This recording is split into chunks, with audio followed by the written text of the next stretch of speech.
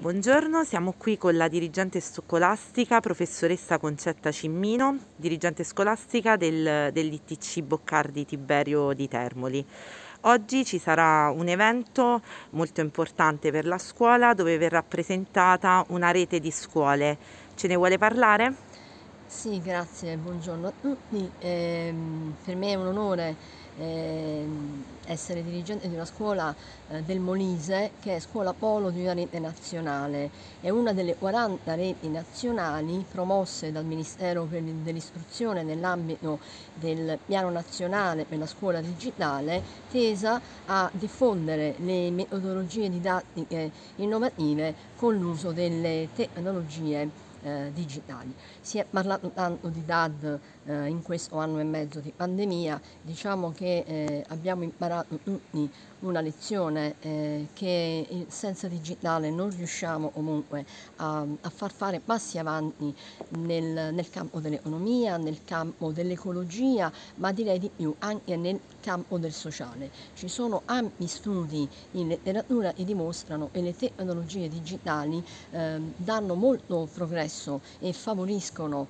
ehm, il successo in ogni ambito e non ultimo quello scientifico. Noi a scuola abbiamo il dovere dovere eh, di eh, preparare le studentesse, gli studenti, le alunne e gli alunni al corretto uso del digitale. E allora che cosa è, è accaduto? Che eh, nove scuole eh, diffuse su tutto il territorio italiano, dal nord al sud, isole comprese, hanno deciso di mettersi in rete eh, per portare avanti un progetto che eh, oggi presentiamo e, e va sotto il nome di Fabrichiamo il futuro. Si tratta di una fabbrica, sì, di una fabbrica e tutto sommato le migliori menti, pensiamo a Google, alla Apple, sono, eh, diciamo, hanno dato il loro meglio nell'ambito di un garage, quindi il termine, il verbo fabbricare è, è, è proprio um, eh, molto pregnante.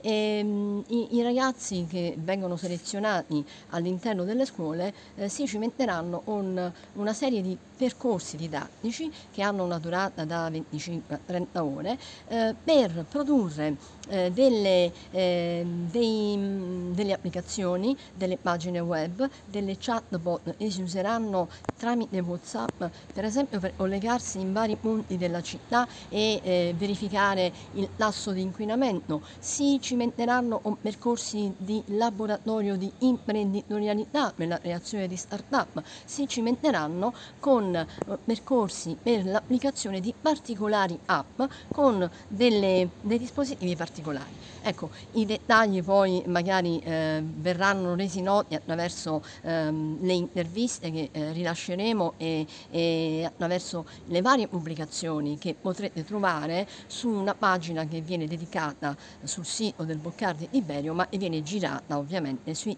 sui siti delle altre scuole. Eh, il senso di tutto questo qui, che cos'è?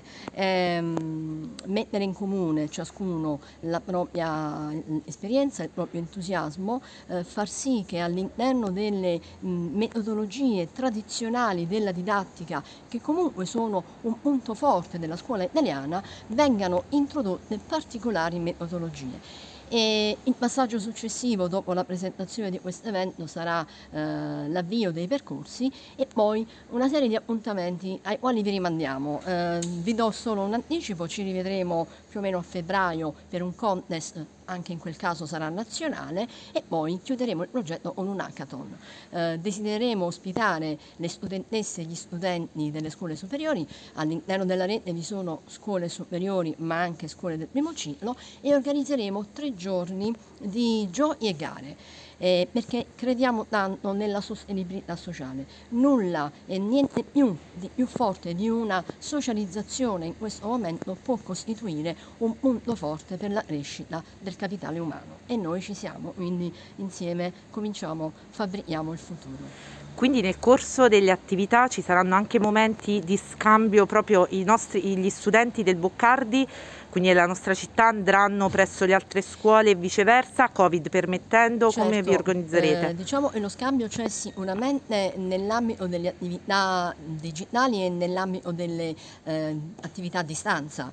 Eh, ci sarà uno scambio tra gli studenti internamente ad ogni scuola perché eh, il progetto ha anche un'altra finalità che è quella della diffusione all'interno di ogni scuola e tra le scuole del territorio di appartenenza di ciascuna, scuola, di ciascuna delle scuole delle reti di diffondere queste pratiche didattiche. Quindi si moltiplicheranno gli scambi. Covid permettendo, noi potremo creare questi gemellaggi, ma di sicuro ospiteremo in quanto scuola polo alcune delegazioni di studentesse e di studenti per gli eventi che eh, diciamo, suggelleranno dei momenti fondamentali. Sono momenti non solo di svago eh, perché eh, ci divertiremo anche, io eh, dico sempre che la scuola è anche un momento di divertimento, eh, divertere dal resto e magari può non essere eh, costruttivo nell'ambito del percorso di vita di ciascuno.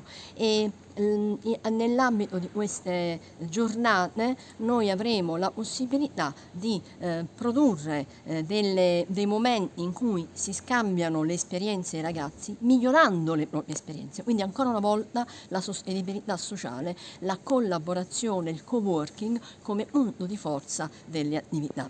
Grazie mille, le auguriamo un buon lavoro. Grazie e buona giornata.